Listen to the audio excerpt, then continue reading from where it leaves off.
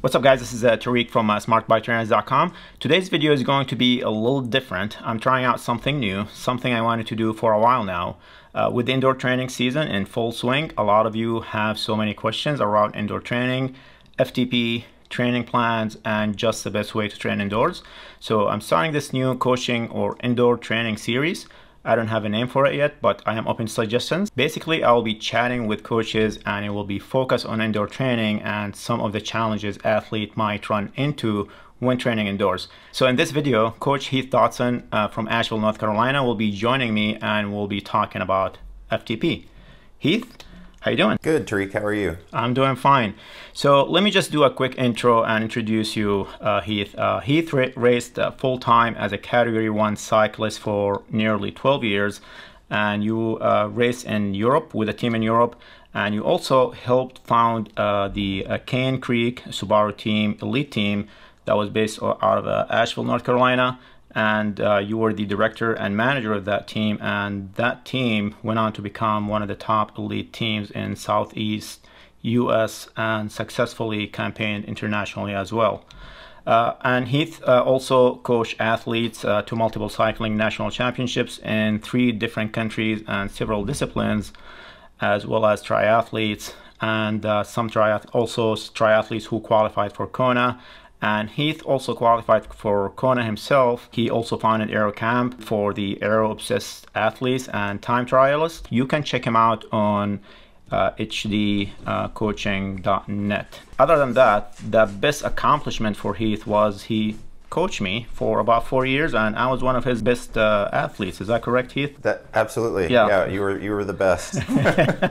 you you can lie at this part. no, you always did what you were told. So uh, yeah, no, you, you did you did quite quite all right. Okay, uh, Heath. Uh, now with the indoor training uh, season, a lot of athletes are questioning about their FTP. They they when they test their FTP indoors, uh, they found out that their FTP is different than the outside. Why is that the case? Is that first of all, is it true that your FTP outside can be different than indoors, and why is that the case? Yeah, I think in some cases it can be different, and I think a lot of that goes into uh, riding the trainer is a little different than being out on the road. Um, there's uh, a guy by the name of Alex Simmons uh, out of Australia uh, who's also a coach.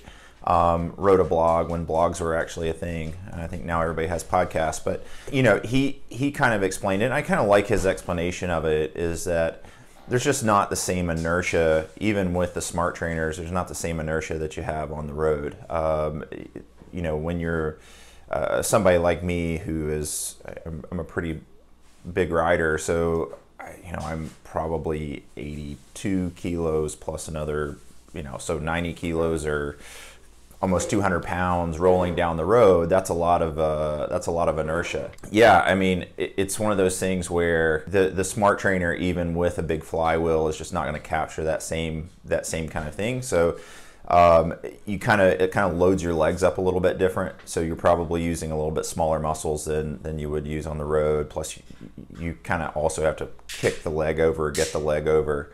Um, and um, you know it's one of those things where again, it just kind of loads your legs up a little bit differently. I think I would say that, that you kind of get adapted to that if you ride indoors a lot. Uh, I've definitely had athletes who were the same outdoors and indoors because the majority of their riding was done indoors. So um, I think if you're uh, an athlete who primarily rides outdoors, um, and then comes and tries to do it on the trainer, it's definitely going to be a little bit different um, and probably a little bit lower just because it's just a little different pedaling action and, and that kind of thing. And of course, the smart trainers have gotten so good now that the road feel is uh, it's it's really good for the most part, and so there's not a whole lot of difference. I mean, you're probably looking at two to three percent, you know, here or there, and in the grand scheme of things, when setting up a training program or setting up levels or or zones or whatever you want to call it, it's not going to be that much of a that much of a difference. Uh, you know, one or two percent, you know, here or there is just not going to make a, a, huge amount of difference. So for the athletes that know their FTP outside, say your FTP outside is 300 mm-hmm. uh, watts, and you come indoor and you test, and it's 250 watts. So that's a big drop. Yeah, uh, that I, that would be surprising for me. Um, so I think if if that was the case, if somebody was uh, what is that? That's 15, almost 15%, roughly 15% right. difference between outdoors and indoors. Um, one of those tests was done wrong.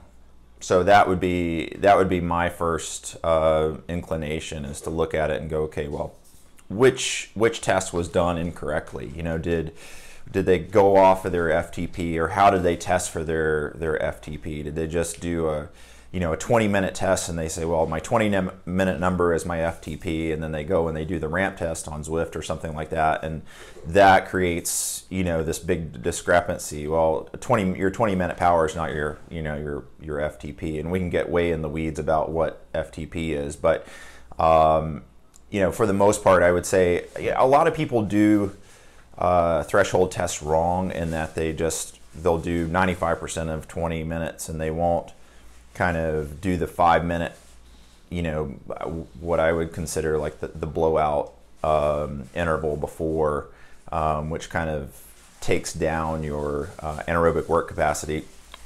So, you know, there's there's some issues with testing. So if I saw something that was that far off, I would say, okay, well, either uh, the trainer is not correct. Uh, you're not getting the, the, the trainer is not a um, the the trainer's off compared to your power meter. One of your power meters is off, or uh, you tested you know incorrectly one way or the other. And then yeah, you just kind of have to dive into those those kind of issues. And usually they're they sort themselves out pretty well. Um, you know, you just kind of have to look at the data and, and, see what the data says. How about the different uh, scenarios of testing? Uh, so for outside, sometimes you the road is uh, can be hilly uh, or flat road, or you can have wind. Uh, so you have all these different variables. Where indoor, it's very controlled. Uh, so do you see that affecting mm-hmm. the test in any way?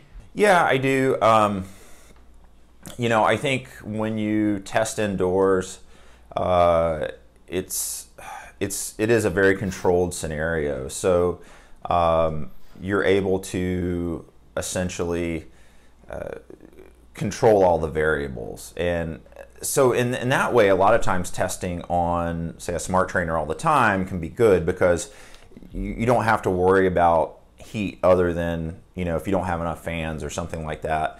Um, you don't have to worry about cold, wind, hills, that kind of thing. So, you know, if you're on a rolly road where it kind of goes up and down a lot, um, that can throw your that can throw the test off a bit because you're going, you know, you know, a high number, um, you know, on the uphills, and then it kind of, you know, falls off on the downhill. So you're kind of got this this big kind of surge, recover, surge, recover kind of thing.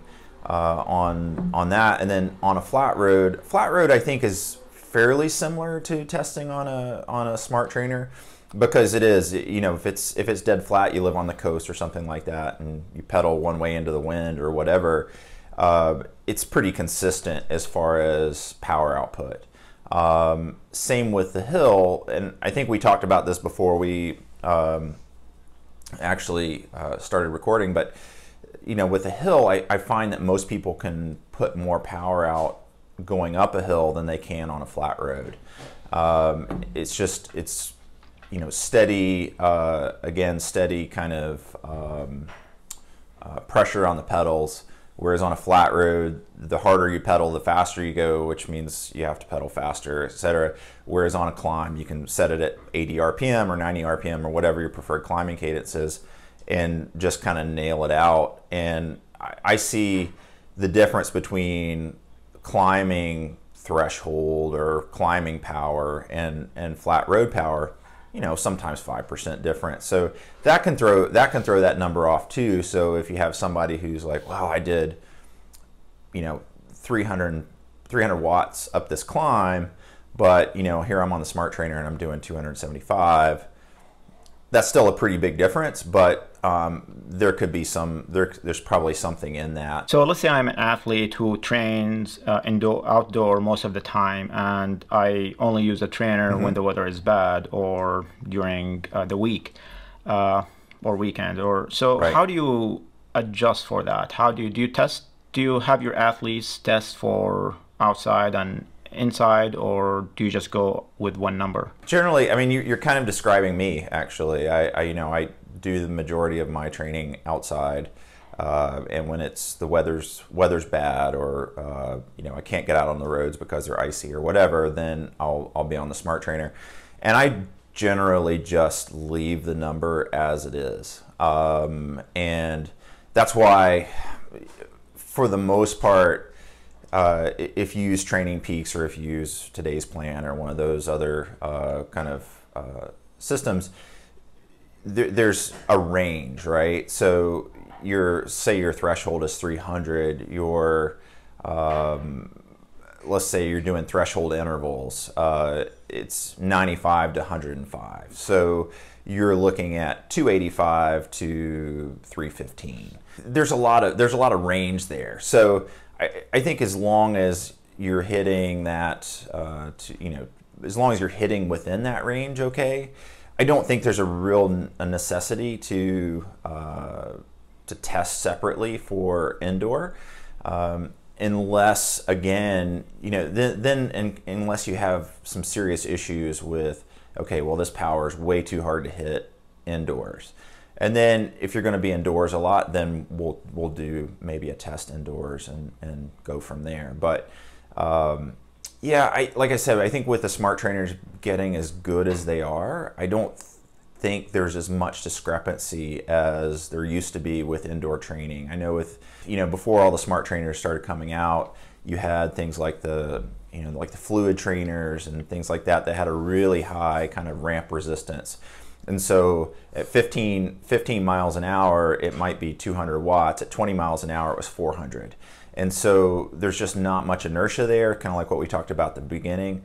And it was, it's really, really difficult for people to, um, to hold that power. I think with the smart trainers, getting as good as they are, there's there's really not a whole lot of difference between indoors and outdoors at this. Point. So the takeaway is inertia plays a big role in your uh, FTP results indoor. How about cooling? Yeah, cooling is a big factor as well. Um, you know, I think when you're when you're out on the road, obviously you've got a 20 mile an hour wind in, in your face all the time or, or more depending on which direction the wind is blowing. It takes a pretty big fan to create that kind of air right. movement. You know and then then obviously internal heat um, your body doesn't particularly like to operate without outside of a certain range. Um, so that's why a lot of times you know if you're racing in really hot weather uh, your your power output is probably going to be lower um, and people, it's just like running or riding or anything like that in hot weather. Your internal body temperature goes up, and your brain basically tells you to slow down so you don't cook yourself. Uh, one last question: You talked, we talked about a little yeah. bit about the inertia of the trainers. Mm-hmm. Uh, how about the rigid trainers uh, compared to uh, trainers with a little bit of flex? Have you seen any difference? Like the Tacx for example, has some flex to it, and the you got you, we have now the Kinetic uh, R1 uh, also some of the kinetic rock and roll mm-hmm. trainers mm-hmm. and people are also now using these rocker plates as well to try to simulate that rocking feeling uh, outside so have you seen with the with all the athletes that you coached and your experience have you seen a difference with the type of trainers people use and their test results and how it compares to the outside you know most everybody that that I work with either has a Tacx or a Wahoo. I know the Tacx has a little bit of flex in it, the Wahoo doesn't have any. I think from a comfort issue, I think the rocker plates and, and things that tend to rock a little bit um, are probably, uh, it's probably a good thing.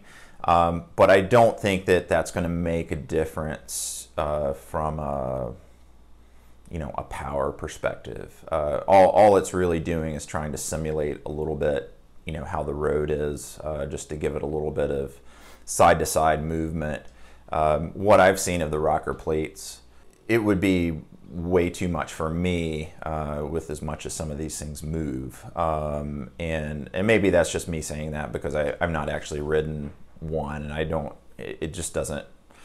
You know, I just stand up if I need a little relief. Um, but um, yeah, I mean, I don't think that there's anything wrong with them. Uh, I think that uh, again, it, it does probably you know give somebody you know give people a little bit more comfort because you are actually shifting weight side to side when you pedal and that kind of thing. So um, but yeah i don't think as far as from a power perspective or power output it's really going to i think the goal here is just to try to get to outside riding as, as much as possible and get that feeling of riding outside. Uh, well heath uh, it's been really yep. fun chatting with you and thanks for being here and uh, if you have any question, please post them in the comment below. And uh, make sure to check out uh, Heath on Twitter, Facebook, Instagram. He's pretty active on Instagram lately. And uh, I'll have all that information. Yeah. I'll have all that information down in the description below, so check those out. If you have any question again, just post them in the comment section and we'll try to answer them. Thanks for watching and make sure to hit the like button and subscribe to see more of these videos in the future. And thanks for being here and we'll see you in the next video.